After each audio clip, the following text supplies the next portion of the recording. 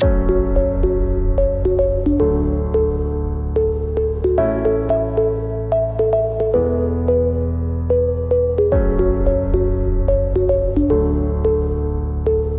to Gray Software. In this video you will see how easy Innkeeping property management is set up and how it's easy to use. The screen that you're looking at is called the dashboard or the home page. In this screen you can see the guest arrivals, the guest departures, the recent bookings of all the people that have made bookings online or even in your PMS.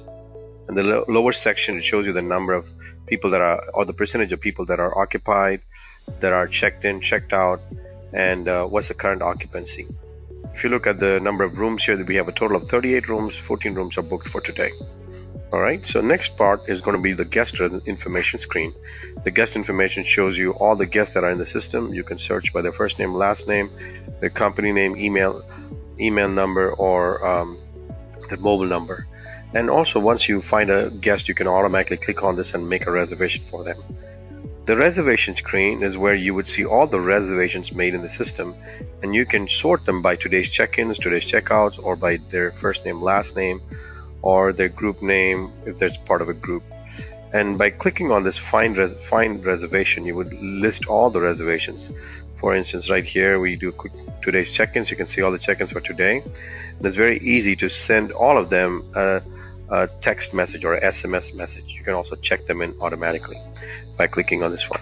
The next thing we're going to see is the is the group screen or the, the calendar screen, which is the most important screen because this is where most people spend their time. If you look at this, you can see all the days listed on the top and the rooms on the left hand side. You can also group these rooms by their clicking on the group room type option. If you put your cursor on top of it, you can see who's staying in which room and exactly what they owe and if there's any notes. You can also click on them and easily move them from one place to another, one room to another. You can also edit them by clicking on it and then going to the edit option right here. And you can also create a new reservation very simply by just clicking on any cell and then just like pushing, um, clicking on it and and uh, just pulling the information here. Let me show that in a minute here.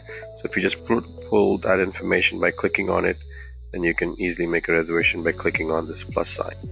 All right now you are in the reservation screen.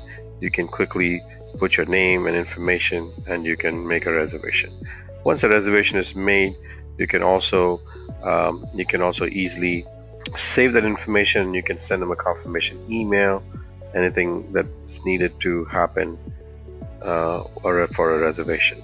All right if you go to the billing screen it shows you all the billing information here. You can take you can also uh, take payments in this in this case right here by selecting a different payment option or you can add charges like you know any other charges that you want to add to the guest housekeeping charges or other optional items that you sell.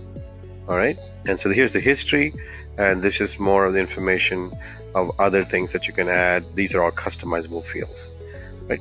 Next thing i want to show you is the, is the reporting section. The reporting section is it's pretty open and it's um, and it all the reservations all the uh, information that we store for you is can be exported into what's called a custom report or you can use we have about 80 different reports that you can use from our system.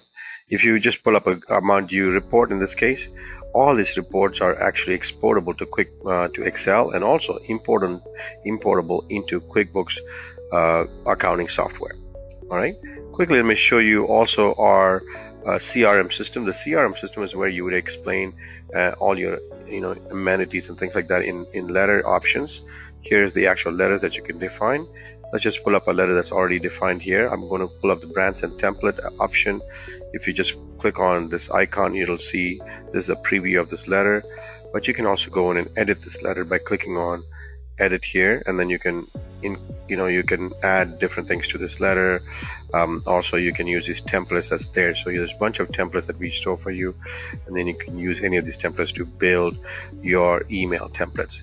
And the other thing that you can do is also have auto email auto texting option. Right here in this auto email section you can define when this email has to go you can do all these options where you can send it instantly or after a specific time frame like check-in date checkout date. You know after checkout you can send a thank them thank you email and that able to communicate with them um, any things that they want to um, send you a review or things like that. All right? And finally uh, what we want to show you is we want to show you the web booking engine. So if you go here on the web booking engine you can see if you click on this link right here it's got the online booking link and if you click on it it'll pull up an online booking link. And this is the online reservation link. So you can uh, customize the options that go in here. So if you go and select any of these options you can click on search that will pull up a reservation. I'm just going to show you an existing client option right here. This is a existing client Keiki Beach bungalows in, in Hawaii. So if they click on book now what happens is it takes them to this book now button and then here you can see all the options. You can also use promo codes different things like that. I'm just going to select one of these dates right here click on search and now it just shows you what's what rooms are open.